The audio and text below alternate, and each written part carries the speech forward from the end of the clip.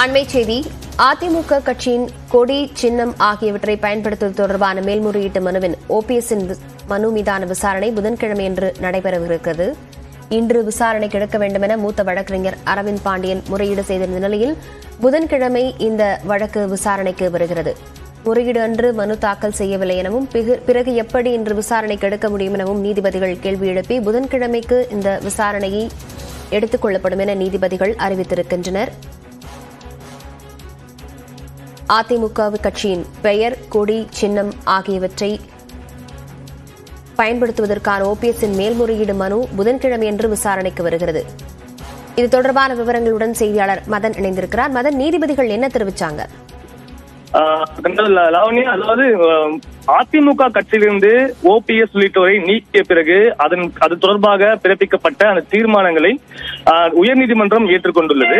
இதன் பிறகு கூட அதிமுகவுடைய கட்சியின் கொடி சின்னங்களை தொடர்ச்சியாக அவர் பயன்படுத்தி வருவதாகவும் அது மட்டுமில்லாமல் தன்னை ஒருங்கிணைப்பாளர் என்று தற்போது வரைக்கும் அவர் தெரிவித்து வருவதால் இதற்கு தடை விதிக்க வேண்டும் என்றுதான் இபிஎஸ் தரப்பிலிருந்து சென்னை உயர்நீதிமன்றத்தில் ஒரு வழக்கு தொடரப்பட்டது. ஆஹ், இந்த வழக்கை பார்க்கும்போது தற்போது தேர்தல் நெருங்கி வருகிறது. இந்த நேரத்தில் இது போன்று இவர் குழப்பத்தை கட்சி கட்சியினுடைய ஒரு மிகப்பெரிய குழப்பத்தை ஏற்படுத்துகிறார்.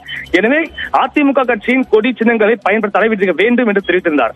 ஏற்கனவே இந்த வழக்கை விசாரித்த தனி நீதிபதி சதீஷ்குமார் இந்த வழக்கில் தொடர்ச்சியாக ஓபிஎஸ் சைடிலிருந்து எந்த ஒரு பதில் மனு தாக்கல் செய்யப்படவில்லை விளக்கம் கொடுக்கவில்லை. அது மட்டுமில்லாமல் உயர்நீதிமன்ற உத்தரவுக்கு இதுவரைக்கும் உச்சநீதிமன்றம் தடை விதிக்கவில்லை என்று தெரிவித்து அஹ், அதிமுகவுடைய கட்சியின் அந்த சின்னம் மற்றும் கொடிகளை பயன்படுத்த ஒரு இடைக்கால தடை விதித்து உத்தரவு பிறப்பித்தார். அதை எதிர்த்துதான் தற்போது ஓபிஎஸ் தரப்பிலிருந்து ஒரு மேல்முறையீட்டு மனு தாக்கல் செய்யப்பட்டது. அந்த மனுவானது இன்று விசாரணைக்கு வரும் என்று எதிர்பார்க்கப்பட்டது.